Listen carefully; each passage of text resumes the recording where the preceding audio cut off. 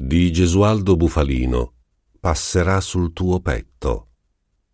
Passerà sul tuo petto il ferro dei convogli e uomini cantando. È dolce questa fine dannata che si spoglia adagio sulla tua bocca sepolta.